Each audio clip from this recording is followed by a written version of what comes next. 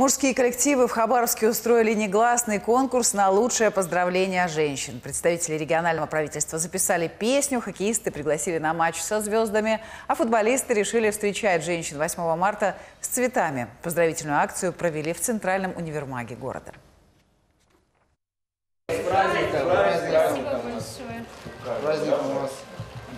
Место дислокации Центральный универмаг выбран не случайно. Уже с утра женская половина Хабаровска потянулась в торговые центры, чтобы купить праздничную обновку или использовать подарочный сертификат. А тут звезды местного футбола. Да еще с цветами. Сюрприз удался.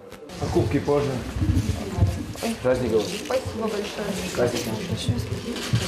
Каждый на входе тюльпан, слова поздравлений и билеты на предстоящий матч. Накануне спортсмены СКА Хабаровск вернулись со сборов. Впереди первая домашняя игра сезона. Мы два дня назад вернулись со сборов.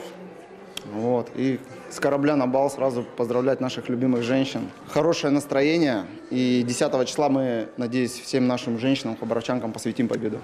Не оставили без внимания и работников ЦУМа. Праздничное настроение футболисты старались подарить всем дамам.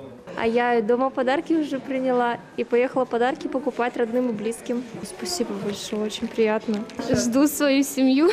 Они в кино, а я гуляю. Ой, вообще приятно очень. Спасибо большое, ребята, молодцы.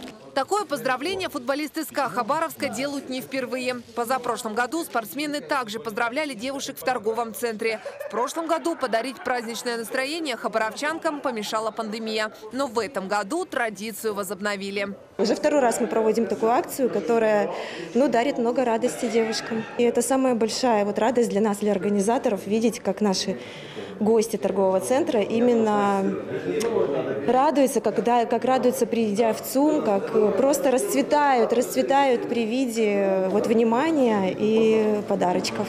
За несколько часов более 200 хабаровчанок получили от футболистов по тюльпану и приглашение на первую домашнюю игру. Ульяна Крамаренко, Сергей Демьяненко, телеканал «Губерния».